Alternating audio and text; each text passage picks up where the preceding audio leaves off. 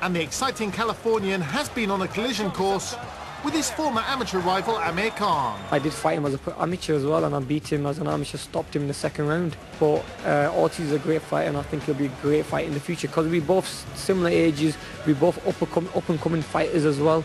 So we'll see how it goes. Marcus